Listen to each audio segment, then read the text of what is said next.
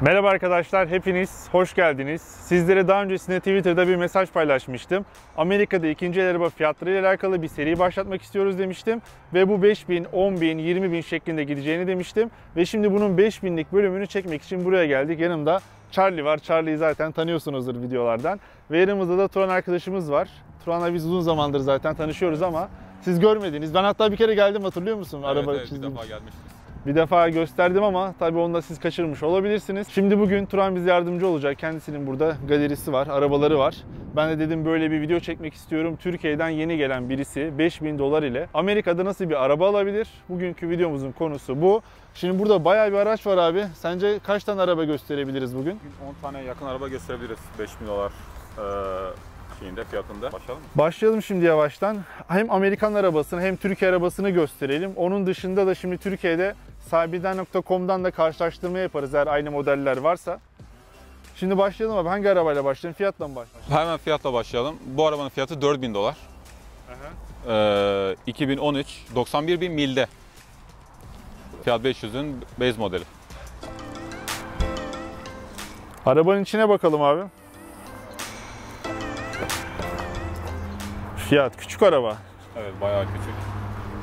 Benzinde de çok iyi. Ne kadar yakıyor abi? Bu eee, 48 highway'de, Aha. şeyde otobanda, Çok iyi ya. Evet. 48. 27'de şehir için. Bayağı iyi. Bu tabii şey, eee, galon, Galon olarak tabii. litre bazında değil. Bir galon 3.78 miydi litre olarak? Evet, 3.78 litre. Şimdi galeri burası. Gördüğünüz gibi birçok araç var. Biz bugün sizlere sadece 5000 dolar olanlarından göstereceğiz. Ama bir tane Mustang var orada. Biliyorum Mustang'i çok seviyorsunuz. O yüzden arkadaki Mustang'i de videonun sonunda 10.000 dolara özel serinin başlangıcı olarak çekeceğiz. Yani bu videoda onu da göreceksiniz. Şimdi devam edelim abi. 2010 model Honda Civic e, 77 binde. Buna da 5000 dolar istiyoruz. Araba, arabanın kazası falan yok. Hiçbir şey yok. Gayet temiz bir araba. Değişeni var mı önemli. Türkiye'de. Ee, değiş Aynen değişeni de yok. Ama boya var. Yani tamponda çizikten dolayı boya var ama şey yok. Şey e, Türkiye gibi konuştuk. Çizikten dolayı. İçine de bakalım hemen. Honda Reliable araba diyorlar. Toyota gibi diyorlar Amerika'da. Burada birçok müşteri galeriye ayak bastığında ilk sordukları araba Toyota ya da Honda. Ya servisleri çok ucuz burada ve bozulmuyorlar kolay kolay. Benzinde de çok iyiler. Şöyle göstereyim içerisi. Tint de var bu arabada. Evet Camlar tint de var evet. Florida'da yaşıyorsanız tint %100. Arkasının genişliği de böyle. Honda Civic güzel araba. Evet burada çok çok tutulmuş bir araba. Şimdi Honda'yı gösterdik, fiyatı gösterdik. Bunun fiyatı neydi abi? Tekrar edelim. Bunun 5000 dolar. 5000 dolar. Limitin bu yani. 5000 dolarla gelirseniz alacağınız güzel arabalardan bir tanesi bu. Evet ve 77 binde yani mili çok iyi. Onun dışında bu da 5000 dolar. Türkiye'de var mı bilmiyorum. Bunun Hyundai Veloster olarak mı geçiyor? Hyundai Veloster. Türkiye'de i20'ler falan var sanki buna benzeyen böyle. Evet evet evet. evet. O serilerde benziyormuş gibi ama bunun bir detayları neydi abi? Bu da 2013 model. 90 binde olmalıydı. 1.6 motoru var. Turbosuz. İçine de bakalım hemen. evet. Biraz böceğe benziyor ama.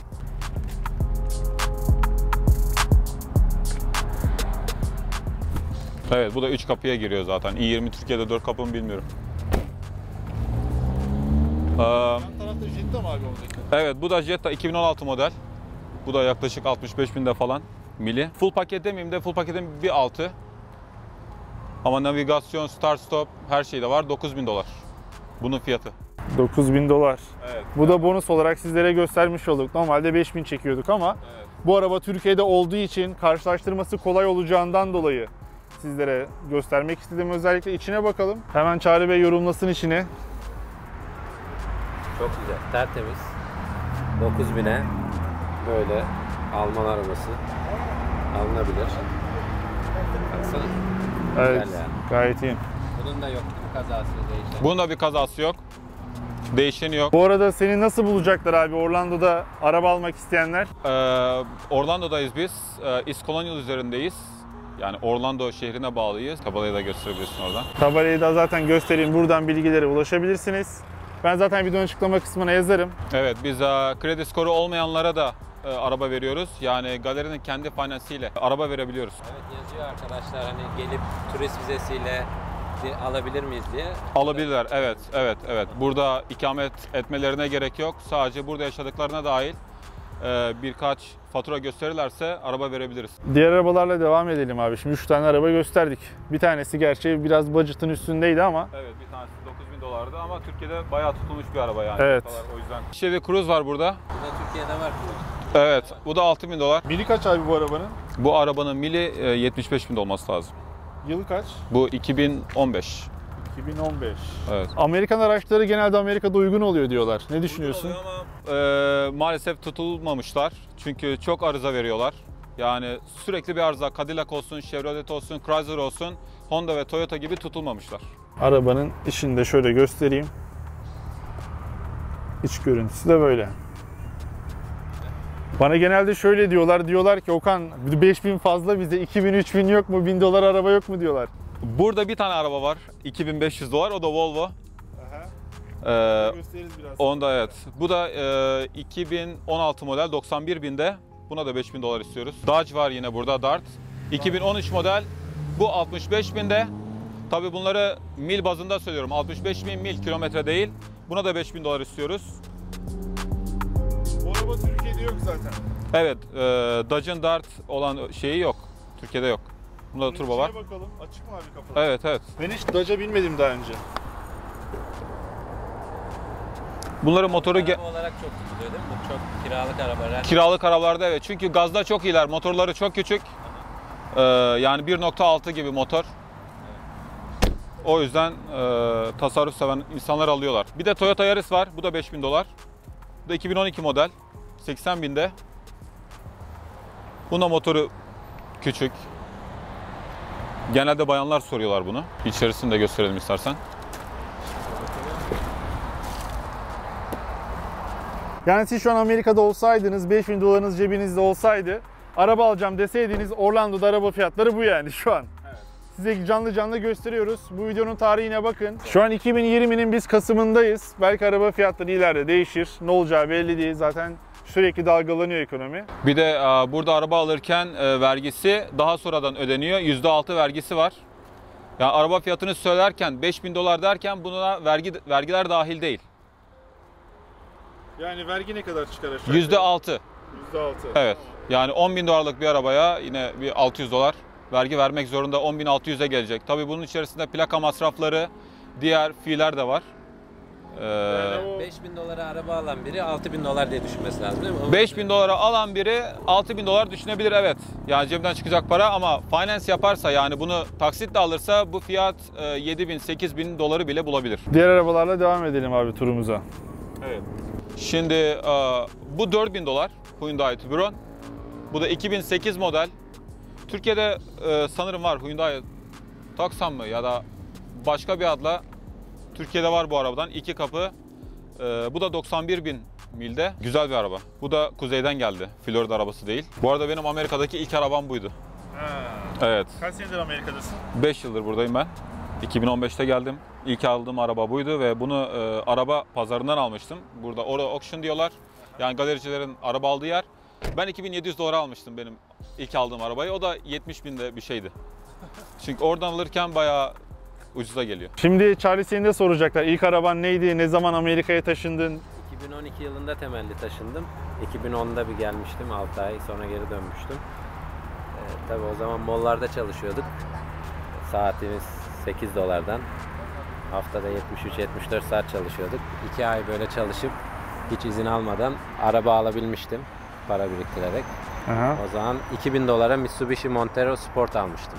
Tabii o harika yani. Jeep alıyorsun. Türkiye'den geliyorsun işte 2 ay 3 ay çalışıp Jeep alabiliyorsun. Tabii öyle imkan oluyor burada çalışınca. Ama ya ilk arabam e, Mitsubishi Montero Sport'tu. Ondan sonra hangi arabaları 2000 kullandın? model. Ondan sonra e, Audi Q7 oldu. Q7'den sonra A4 oldu. Ondan sonra Camaro 2SS oldu. Biliyorsunuz onu arkadaşlar. Evet, evet. Kardeşine verdiğinde Evet. biliyorlar çağında şu an Evet, araba. Çağan, Çağan Bey aldı onu. Ee, şu anda en son videodaki Range Rover var. Evet. O videoda izlemek isterseniz yukarıya kart koyarım. Range aldığımız zaman kaç paraya aldığımızı, Range markası için burada dolaşmıştık. Birkaç tane galeriye gitmiştik. Oradaki fiyatları da görebilirsiniz. Neyse videomuzda biz devam ediyoruz şimdi. Sendeyiz abi. Şunu gösterebiliriz Scion'u. Buna da 5000 dolar istiyoruz. Scion XT küçük bir araba da bu da kompakt bir araba 5000 dolar. 2012 model. Ee, 100 bin milde. Amerika'da arabaların ömürleri ne kadar mil olarak baktığın zaman böyle ortalamayı vurursan? Şöyle söyleyeyim sana arabadan arabaya değişiyor. Ee, Avrupa arabasıysa 100 binden sonra fiyatları inanılmaz derecede düşer. Çünkü Avrupa arabalarının bakımı çok pahalı. İnanılmaz pahalı ve o yüzden e, 100 binden sonra 50 bin dolarlık bir Mercedes direkt 15 bine 20 bine düşebilir. Yani direkt e, ya- yarıdan fazla. Ama Honda ve Toyota'lar 200 bin, 220 bin, 230 bin mile kadar gidebiliyor sıkıntısız. Le- modeller A- 1 milyon mil falan. Tabii Lexus da öyle çünkü ben Lexus'u saymadım. Zaten Lexus Toyota'nın bir üst segmenti. E, Honda'da da e, Acura'lar var. Onlar da çok iyi gidiyorlar. Lexus'larda. Lexus çok iyi. Sıradan e, Ford Focus'u gösterebilirim size. E, 2014 model 5000 dolar. Fiyatı güzel yılına göre. Evet e, o da e, 102 binde, 102 bin mili var. Birçok Türk geldiğinde buraya Ford Focus soruyor. Türkiye'de hayalim de alamadım ama burada Ford Focus almak istiyorum diyorlar. E, yani 4 ya da 5'ten fazla bu yıl Ford Focus verdik Türklere. Peugeot, ben de Peugeot hastasıydım. Türkiye'de Peugeot 206 öğrenciyken o zaman lisede falan bir Peugeot 206 mı olsun? O, onun bir reklamı vardı. Fille olan reklamı sanırım. Her- Herkesi o etkilemişti. Peugeot. İçine bakalım abi Ford'un. Hemen. Buradan bakayım. Ya oradan bakabilirsin.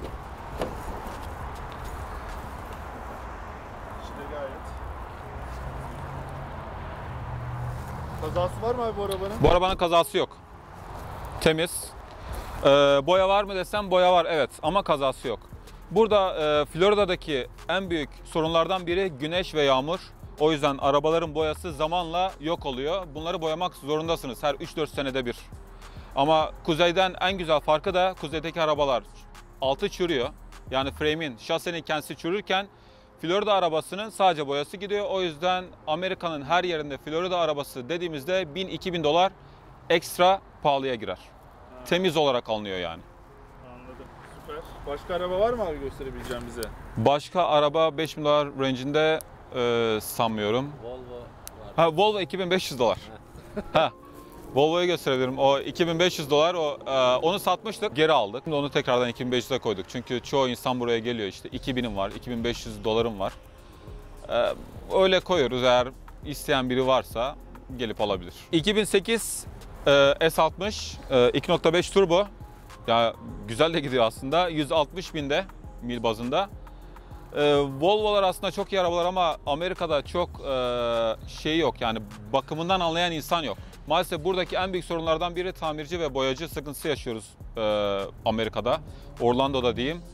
E, Türk ustalar burada olsaydı emin olun inanılmaz derecede ya çok büyük bir de, e, şey olurdu bizim için. Kolaylık olurdu. Tabii Türkiye'de yapılan işçilikle burada da İmkansız. Burada arabanın herhangi bir sıkıntısında motorunu değiştirelim. Ee, işte şu parçasını değiştirelim. Burada işçilik yok arkadaşlar. Yani hiçbir şekilde adam ben 2 saatimi 3 saatimi ayırayım diye bir şey yok. Bir kamyonumuz vardı hatta. Dedi ki hani motorundan küçük bir ses geliyor. Tamirci yapmak istemiyor. Yani motorunu getir diyor. Değiştireyim. Onun için Türk ustaları bekliyoruz. Evet Türk ustalar kesinlikle kesinlikle öyle. Arabanın içi temiz aslında. Arabayı önden göstereyim sizlere.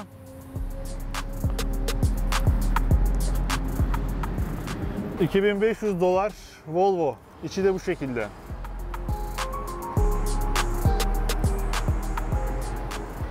Herhalde arabaların çoğunu göstermiş olduk şu an. Bir Mustang var. Türkiye'de evet Türkiye'de karşılaşmak isterlerse Mercedes var ve Audi var. Onların şey luxury kısmında olanlar. Onları da hemen gösterelim bonus olsun. Sen Mustang'i seversin aslında. Bayağı bir Mustang'in olmuştu senin. Benim evet 3-4 taneden fazla Mustang'im oldu. Ee, G- Mustang GT'sinden üstü açık olana, e, ondan sonra 6 silindirden 8 silindire hepsine kadar oldu. Ama şu an Audi biniyorum. Değişiklik olsun diye. Hadi alışınca da şimdi Evet, şimdi- Alman arabası. Almanlar gerçekten e, araba konusunda Amerika'da da olsun en iyileri. Yani Audi olsun, Mercedes olsun, BMW olsun. Üçünü de aldım. Üçüne de bir seneden fazla bindim. Ama Audi A8'deki konforu ben hiçbirinde göremedim şahsen. Yani e, çok iyiler. Mustang hemen burada. Bu Mustang'in bilgilerini alalım abi senden. Bu e, 2009 model Mustang GT. E, 45. yıla özel olarak yapılmış. E, üzerinde Borla egzoz var, Supercharger motoru var ve e, Supercharger da factory yani fabrikadan gelmiş. Hani üzerinde herhangi bir oynama yok. Bu da e, full paketi. Üzerine bir biz ekleme olarak sadece radyo ünitesini değiştirdik. Onda da navigasyonlu, bluetooth'u falan olsun diye e, çağa ayak uydursun. Hemen bir önünden de göstereyim abi. Tabii ki. Herhalde eski kullanıcısının adı, eski sahibinin adı Ebi'ydi herhalde adı. A- aynen öyle. Ebi'yi de çıkartmak istemedik. Hatırasına saygısızlık olmasın. Mustang'in görünüşü de böyle. Zaten e, 2010'da yeni kasaya girdiler. Bu 2009'un son serisi. Evet, Mustang bu. Mustang GT meraklıları. Bir de bunda sunroof da var galiba. Evet bu e, dediğim gibi bu 45. yıla özel bir seri. E, şu ana kadar gördüğüm ve tek gördüğüm cam tavanlı Mustang. Yani böyle bir arabayı 9-10 bin dolar civarındaki bir arabayı burada asgari ücretle ortalama hesapladığında 6 aylık maaşla alabiliyorsun. Evet alabiliyorsun ya da e, küçük bir e, peşinatın varsa 3000 dolara yakın peşinatın varsa bunu taksitle de verebiliyoruz. Şimdi Audi'ye bakmaya gidiyoruz. A8 abi bu. Evet bu benim kişisel arabam A8 Long. E, bunu da yeni aldım. 2014 bu. Spor severdin. Ne oldu böyle? Luxury'e geçtin. Ben evet spor severdim ama e, buna bunda çok iyi fiyat yakaladım. O yüzden de e, şans verelim dedik Audi'ye. Nasıl peki memnun musun? Çok memnunum. Gerçekten şu ana kadar bindiğim en konforlu araba. En hızlı araba demeyeyim ama en konforlu araba. E, Yediyle aynı benim Q7 de 4.2 Quattro'ydu. Aynı. evet motor aynı. E, şeylerde de öyle. Örneğin e, S5 almak isterseniz yine aynı motor geliyor. Turbosuz 4.2 Quattro. Bunda da 376 beygir var. Yılı kaçtı? 2014. 2014. Bayağı yeni duruyor ya. Evet. Bayağı da uzun araba baksana. Çok uzun. E, en büyük sıkıntıyı zaten park ederken yaşıyorum. Uzun araba yani belli. Evet. İçi de arabası. böyle. Bu arabada, bu arabanın Amerika'daki piyasası ne abi? Bu araba e, 15 bin dolar.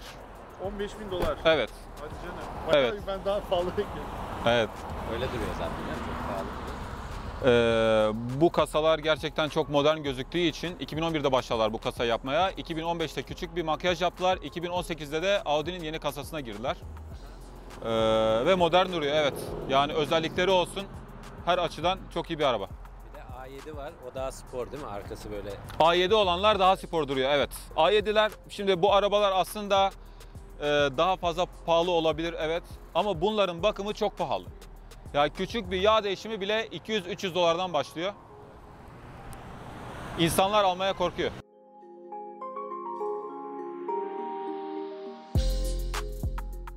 Ben de kendimden biliyorum. Bunları alması kolay, bakması zor.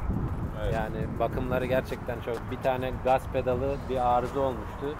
Bir tek dealer'dan, kendi servisinden alabiliyorsun. İşte 3000 dolar, 4000 dolar fiyat çıkmıştı. E, araba zaten hani 10 bin dolar. Öyle bir durum oluyor. O yüzden belki fiyatları Onu göze, düşüktür tabii zaten. onu göze almak lazım işte alırken Evet. Alman arabasını. Bunun halinden maalesef anlamıyorlar. Yani bunu e, tamir eden tamirci yok. Öyle söyleyeyim. Evet arkadaşlar sizlere bugünkü videomda Amerika'ya cebinizde 5000 dolar ile gelirseniz ama Florida'ya diyorum çünkü diğer yerlerde araç fiyatları biraz daha farklı olabiliyor Fiyatlar mu? daha pahalı oluyor. Orlando'da araba fiyatı, e, Orlando'da araba sayısı çok olduğu için kuzeye doğru gidildikçe araba fiyatları artıyor. Evet o yüzden buradaki fiyatlar Orlando fiyatı. Yani bizim Amerika'da, bizim eyalette, Amerika'da yaşayan arkadaşlarımız varsa işte çok pahalı söylediğiniz, çok ucuz söylediğiniz derlerse fark bundan dolayı olabilir. Sizlere bunu göstermek istedik. Serimizin sonuna geldik. Bu 5000 dolarlık bir seriydi. İlerleyen zamanlarda nasıl bir seri yapmamızı isterseniz bunu yorum kısmına yazın. 10 bin dolara kadar mı sınır olsun, 20 mi olsun, 50 mi olsun, 100 mü olsun, 150 mi olsun? Bunu yazarsanız yine birlikte video çekmeye çalışacağız. Ee, bir şey diyor musunuz? Devamını çekmemizi istiyorlarsa like şey Eğer bu videoya 10.000 like atarsanız bu videonun ikinci serisini çekmemizi istediğinizi bize belli edebilirsiniz diyorum o zaman. Ee, ne yapalım videoyu kapatalım artık Evet. biz. Akşam oldu burada yavaş yavaş. Bir şey söylemek istiyor musun abi? Herkese teşekkür ederim. Herkesi buraya bekliyor muyuz? Evet bekliyoruz. Herkesi bekliyoruz. Herkese de e, yardımcı oluruz. Şimdi videomuzu çektik biz spora doğru gidiyoruz. Charlie uzun zamandır görmüyordunuz. Nerede diyordunuz? Ben de aynı soruyu şimdi kendisine sorayım. Neredesin abi sen videolarda yoksun? Evet. Çok yoğunduk bu aralar. İşte evleri tadilat yapıyorduk biliyorsun. Covid dönemi e, genelde biraz durgun oldu işler. Çok yoğunluk yok. O arayı böyle tadilatla geçirelim dedik. Garajları e, game room yaptık, sinema odası falan. Şu an onların tadilatıyla uğraşıyorduk. O biraz yoğun geçti. Video çekemedik. Sana katılamadım. Ee, ar- Arkadaşlar da mesaj atıyordu sağ olsunlar. İşte bugün denk getirdik. Artık araba serisine başladık. Böyle araba videosu çekeriz, ev videoları çekeriz beraber. Yine elimden geldiğince katılmaya çalışacağım yani. Seninle görüşüyoruz ama hani video çekecek kadar görüşemiyoruz Evet. genelde. Biz spora haftanın 5 günü beraber gidiyoruz yani. Biz bayağı bayağı görüyoruz birbirimizi ama dediğim gibi ne zaman video çekelim desem böyle zamanı olmuyor genelde Charlie. Yoğun oluyor. Şimdi seni tanımayan arkadaşlar olacak. Sen ne iş yapıyorsun abi Amerika'da? Biz burada e, emlak, yatırım, Airbnb işi yapıyoruz. Yani evleri ev alıp onları Airbnb'de e, kısa dönemli short term kiraya veriyoruz. Aynı zamanda emlak, alım, satım, yatırım e, o konularda faaliyetlerimiz var. Türkiye'den de e, şu an birkaç kişiyle görüşüyoruz. Senin eve aldığımız videolardan e, yazan arkadaşlar vardı. Onları da burada ev sahibi yapıyoruz, iş, iş sahibi yapıyoruz. Bazıları iş yeri almak istiyor. O konularda yardımcı oluyoruz. Şimdi reklamlar. Reklam gibi oldu. İşler nasıl etkilendi abi senin Covid muhabbetinle? Bir de biliyorsun ikinci dalga Amerika'da gelebilir diyorlar. Çünkü New York'ta okullar kapatıldı şu an. evet. Ne düşünüyorsun? Airbnb etkilenir mi senin işler? Airbnb tabii ki etkileniyor. E, sınırlar e, kapalı oluyor. Çoğu ülkeden hala geliş olmuyor. Ve böyle olunca yabancı müşteri gelmiyor. Bizim evlerin çoğunu hani ülke dışından gelen turistler şey yapıyordu. Biliyorsun 80 milyon turist geliyordu Orlando'ya geçen sene. Evet. Şu an öyle bir sayı yok ama genelde yerli turist, Amerika'nın içinde seyahat edenler geliyor, evlerde kalıyor. Ee, hani yine yani çok şükür hani çok kötü değil, çok aşırı etkilenmedi emlak piyasası, ev piyasası, Airbnb. Ee, ama tabii ki bir durgunluk var. İnşallah geçer bir an önce de e, biz de normal hayatımıza döneriz. Şu maskeyi takmadan e, gezeceğimiz günlerde gelir bir yere gireceğimiz diye ümit ediyoruz yani. Çok sıkıyor beni senin sıkmıyor. Tabii sporda bir de biz sporda maskeyle antrenman yapıyoruz zaten. O da ayrı bir sıkıntı. Her neyse abi e, bir şey söylemek istiyor musun? Videoyu bitirelim. Seri yapacağımızdan bahsettik. Eğer seri istiyorlarsa bu videoya 10.000 like istediğimizi de söyledik. Çünkü Charlie'yi böyle yakalamak zor oluyor arkadaşlar. Neyse bakalım. Görüşürüz diyorum o zaman. Bir şey diyor musun? Herkese selamlar. Görüşmek üzere. Bay bay.